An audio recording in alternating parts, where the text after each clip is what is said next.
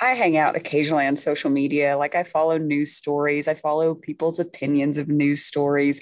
And I have never been so scared to have an opinion on something as I was this summer when all of this was transpiring, because on both sides of the issue, there is such deeply entrenched sense of virtue. If nothing else, if we can kind of bridge that gap with curiosity of the other side, like let, let me just understand where you're coming from. Let me just understand where these values come from and what's informed them. And then we can say that we disagree wholeheartedly while also maintaining compassion and at least an informed awareness of why people believe what they believe. And that's going to really help our discourse, I think. I just want there to be one space in the world where you don't have to be afraid to have your opinion on this issue and let's talk and let's learn. There might be some real uh, attempt at persuasion, and that's okay. But at least those attempts are going to be made in love and questions and in a desire to know you better and a desire to